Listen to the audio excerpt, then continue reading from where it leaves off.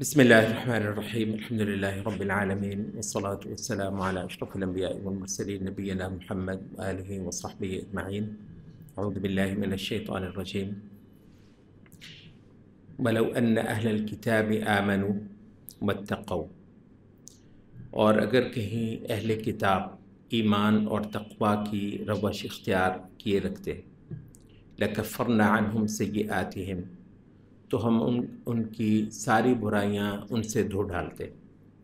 ولا ادخلناہم جنات النعیم اور ہم انہیں نعمتوں کی، نعمت کی جنتوں میں داخل کرتے۔ ولو انہم اقام التورات والانجیل اور اگر کہیں وہ تورات کو قائم کیے رکھتے اور انجیل کو۔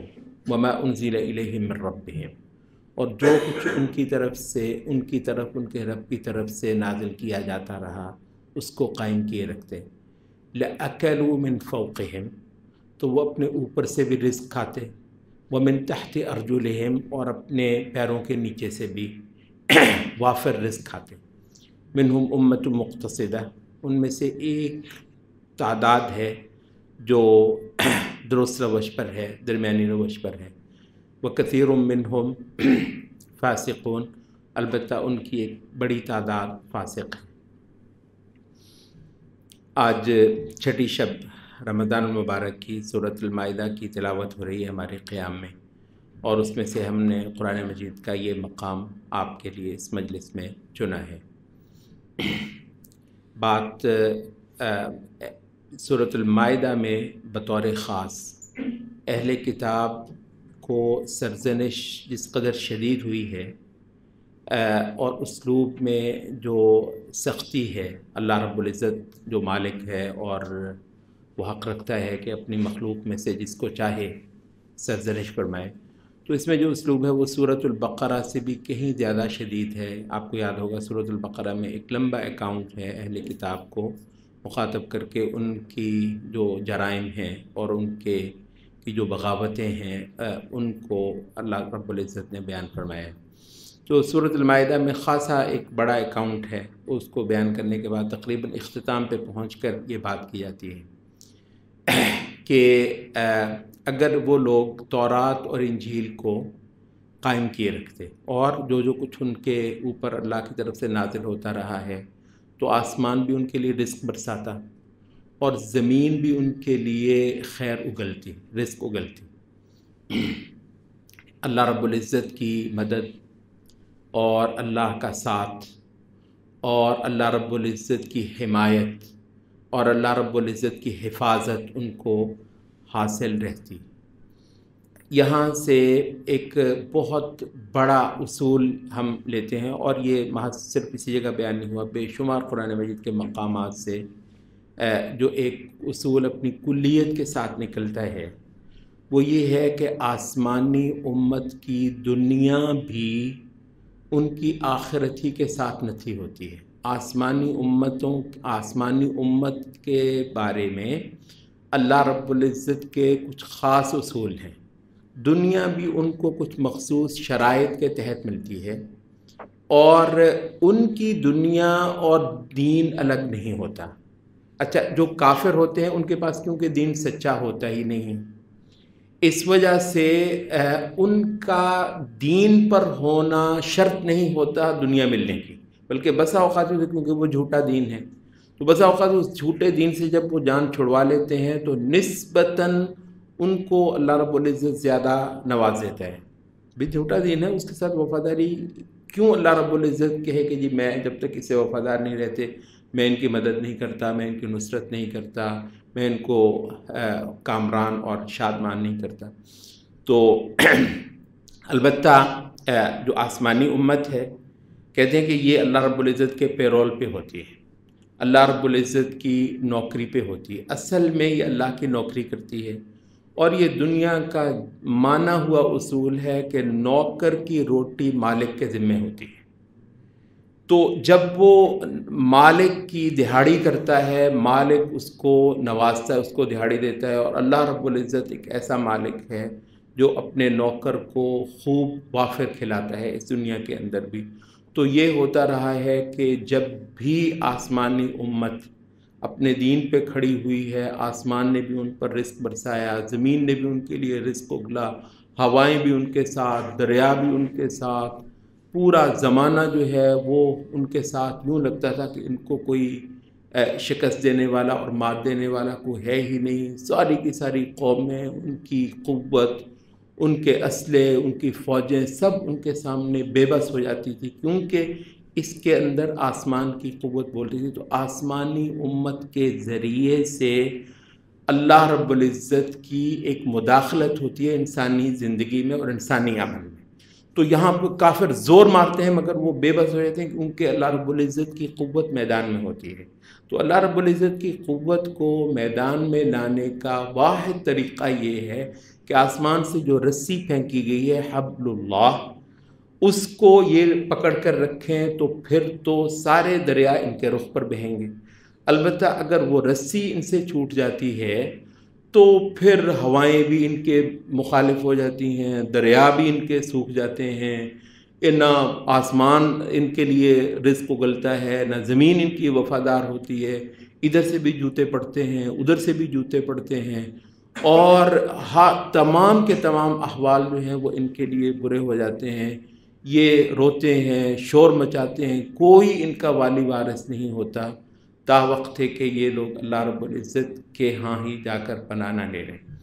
تو یہ ایک اصول ہمیں سمجھایا گیا تورات اور انجیل کی امتوں کا ذکر کر کے، کیونکہ ان کو جو جوتے پڑے، ان کے جو برے حالات ہوئے، ایسی ایسی بری مار پڑی اور تورات ان کے گھروں میں ہے۔ تو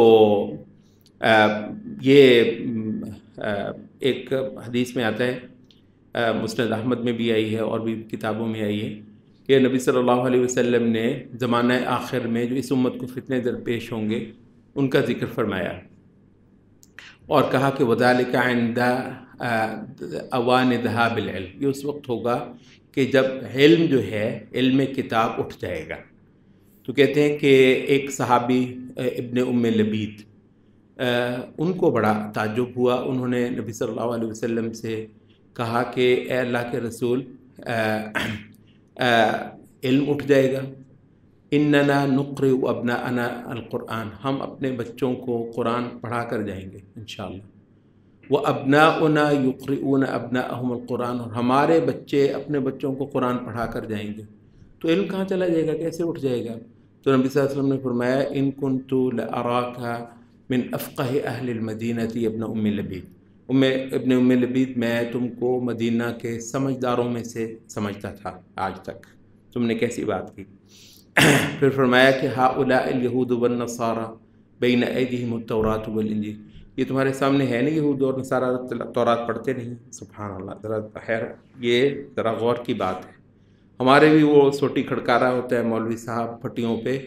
صبح سویرے قرآن ہم بھی پڑھتے ہیں۔ قرآن کا حق ہم بھی ادا کرتے ہیں۔ اور یہ تراوی جو ہے مطلب حقیقت یہ ہے، جو جو لوگ راتوں کا قیام کرتے ہیں، رمضان میں نہایت مبارک ہیں۔ سفر اللہ کے اللہ رب العزت کی عبادت کے کسی بھی عمل کی تحقیر کی جائے۔ لا الہ الا اللہ۔ مگر قرآن مجید کو اسی عمل میں بھگتانا۔ ولو انہم اقام التورات والانجیل ان کے معاشروں میں اگر کہیں تورات کی اور انجیل کی حکومت ہوتی تو پھر آسمان اور زمین سب ان کے ساتھ ہوتے۔ یہ کہاں ہے؟ ہم نے یہ قرآن مجید کو اسی یہ مسجدوں میں جو تعلیم ایک ہو جاتی ہے بچوں بچوں کے لیے، بڑوں کو تو ہاتھ لگانے کی ضرورت نہیں ہے قرآن مجید کو۔ اور یہ جو تراوی وغیرہ میں ہم قرآن مجید کو نمٹا دیتے ہیں، بھگتا دیتے ہیں۔ تو یہ وہ چیز ہے جو ہمیں جوتے پڑوانے کے پیچھے ہے۔ اور کوئی اس کا حل نہیں ہے سوائے اس کے کہ ہم اس کتاب کو جو اللہ کی کتاب ہم پر نازل کی گئی ہے، اس کو اپنی زندگی میں اور اپنے معاشرے کے اندر قائم کریں۔ تھوڑی سی بات جو ہے وہ اس پر ہو جائے کہ اللہ کی کتاب کو قائم کرنے سے مراد کیا ہے۔ ایک تو یہ ہے کہ آدمی کے تم، ایک تو انفرادی سطح پر ہے۔ انفرادی سطح پر آدمی کے تمام تصورات وہ زندگی سے متعلق ہوں، وہ کائنات سے متعلق ہوں، وہ الہیات سے متعلق ہوں، وہ معاشرے اور معاشرت اور سماج سے متعلق ہوں جن کو اب سوشل سائنسز کہتے ہیں۔ سوشل سائنسز یہ ہیومن سائنسز کہتے ہیں۔ کیا ہوتی ہیں ہیومن سائنسز؟ یہ انسانی زندگی، انسانی سماج جو ہے وہ کن چیزوں پر کھڑا ہونا چاہیے مختلف پہلوؤں سے؟ یہ سب کا سب اللہ کی کتاب سے بھی ہے۔ اور صاف ارتداد ہے اگر زندگی کے کسی بھی پہلو میں ہدایت کے لیے کتاب اللہ کے ماں سوا کسی اور چیز سے رجوع کیا جائے۔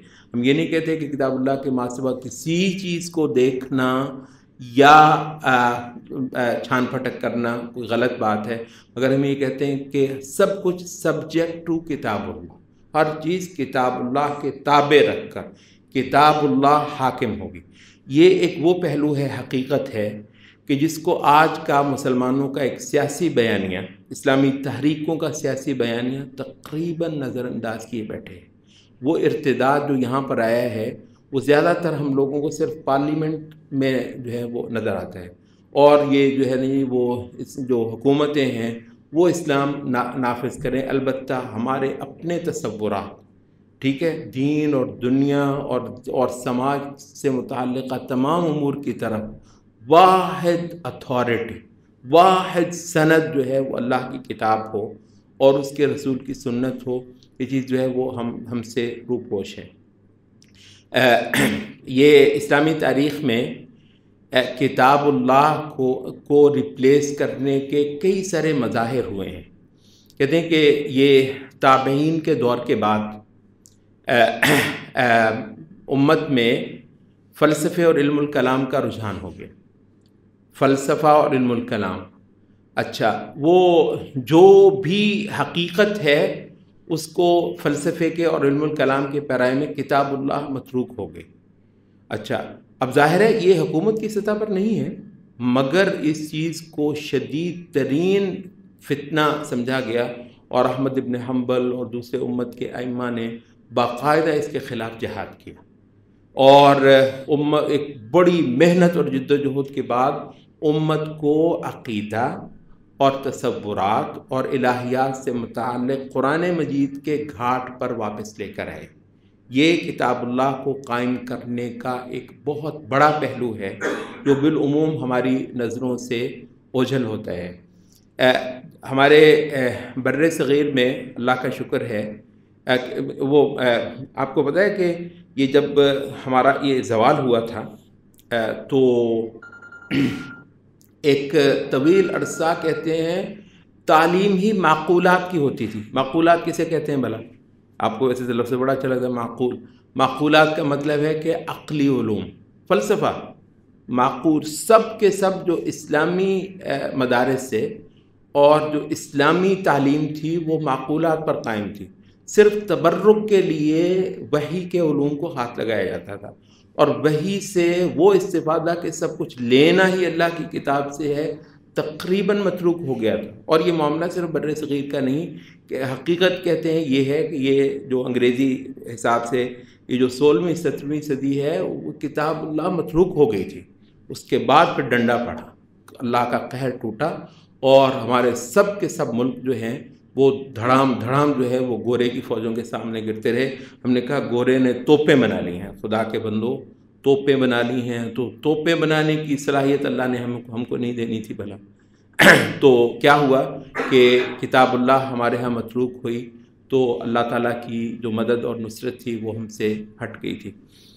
اچھا لیکن اللہ کا شکر ہے، کہتے ہیں کہ یہ جو مسلمانوں کی جو ایک ریوائول ہوئی ہے، ویسے تو ہر جگہ ہی ہوئی ہے، اس کا بہت بڑا مضمون اللہ کی کتاب ہے۔ قرآن مجید کو پڑھنا کہتے ہیں، شاہ ولی اللہ سے اس کا آغاز ہوتا ہے ہمارے بر صغیر میں۔ اور اس کے بعد پے در پے جو تحریکیں آئی ہیں، ایک سے بڑھ کر ایک جو ہے اللہ کی کتاب کی طرف کو امت کا جو ہے وہ رجحان کروانے لگی۔ البتہ آج بھی آپ کو خال خال کہیں نظر آتا ہے کہ بھئی قرآن مجید کو ہاتھ مت لگانا۔ آپ صبر کر سکتے ہیں، قرآن مجید کو ہاتھ مت لگنا، گانا گمراہ ہو جاؤ گے۔ سنیے یہ بات۔ قرآن مجید نہ پڑھو، اگر پڑھنا ہی ہے تو اس کو جو ہے نا، صرف اس کی تلاوت کر لیا کرو۔ سمجھنے کی کوشش مت کرنا۔ سمجھنے لگے تو گمراہ ہو جاؤ گے۔ قرآن مجید کو سمجھنے کے لیے، جس کے بارے میں اللہ نے کہا ہے بلقد یسرنا القرآن للذکر فہل میں مدکر تو قرآن مجید کو ہاتھ لگانے کے لیے کسی نے کہا چودہ علوم ہوتے ہیں، کسی نے کہا بتیس علوم ہوتے ہیں، کسی نے کہا اتنے علوم ہوتے ہیں، وہ اگر سب کے سب تمہارے پاس نہیں ہیں، تو قرآن مجید پڑھنے سے تم بہک جاؤ گے، گمراہ ہو جاؤ گے۔ تو اس وجہ سے قرآن مجید کے علاوہ تو جتنی یہ جو ذہن کی تشکیل ہوتی ہے، اس میں جتنا مواد ہے وہ کتاب اللہ سے نہیں ہے مسلمان ذہن کی جتنی تشکیل ہوتی ہے وہ دوسرے نصابوں سے، وہ دوسری سنی سنائی باتوں سے۔ اور یہ جو ہے، کتاب اللہ جو ہے وہ محجور اور متروک ہے۔ تو یہ ایک بہت بڑا میدان ہے۔ تو اللہ کا شکر کتاب اللہ کی طرف کو رجحان تو بہت ہوا ہے۔ البتہ جو ایک بات یہاں پر کرنی، اس اس کے لیے ٹائم نہیں، اس کی وضاحت انشاءاللہ کسی اور مجلس میں ہم کر سکتے ہیں۔ لیکن اس کو ذکر کر دینا شاید مناسب ہوگا۔ وہ یہ ہے کہ بر صغیر میں بالعموم قرآن مجید کی طرف کو رجوع تو ہوا ہے، لیکن وہ سلف کے منہج کے خاصیت تک بغیر ہوا ہے۔ اور اس وجہ سے اس کا نقصان یہ ہوا ہے کہ خود قرآن مجید کی تفسیر ہی کے اندر ہر ہر جماعت اور ہر ہر ٹولے نے ایک اپنا علم الکلام ڈیولپ کیا۔ وہ اس کے اپنے کچھ پیرائے ہوتے ہیں اور اس کے اپنے کچھ مقدمات ہوتے ہیں اور اس کے اپنے کچھ پیٹرنز ہوتے ہیں قرآن کو سمجھنے کے لیے۔ وہ پیٹرنز دیے جا رہے ہوتے ہیں اور پیٹرنز پر قرآن مجید جو سمجھ آتا ہے وہ اس ٹولے کی سوچ ہوتی ہے۔ تو قرآن مجید میں ٹولے کی اپنی سوچ ڈال دینا آیتیں قرآن مجید کی، لیکن اس کے تحت فکر اس جماعت کا، فکر اس ٹولے کا، فکر اس تنظیم کا، یہ بہت زیادہ ہوا ہے۔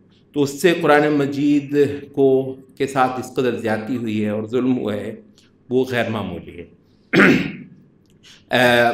اور اس کی کوئی صورت نہیں ہے، سوائے اس کے قرآن مجید کو اس سادگی کے ساتھ اور اس بالکل جو طبعی اور ایک اس کے جو بے ساختہ مفہومات ہیں، جو سلف کے ہاں چلے آتے رہے ہیں، انہیں مفہومات کے ساتھ لیا جائے تو قرآن مجید کا اصل مضمون اسی صورت میں سمجھ آئے گا اور قرآن مجید کو قائم کرنا ذہنوں کے اندر، دماغوں کے اندر، سوچوں کے اندر، خیالات کے اندر جو کہ سب سے پہلی بات ہے، تو یہ ہے۔ اور دوسرا قرآن مجید کو قائم کرنا وہ یہ ہے کہ معاشرے کے اندر عملاً قرآن مجید کے جو احکام ہیں وہ حکومت کریں۔ فیصلے ہوں تو سب کے سب کتاب اللہ کی روح سے ہوں۔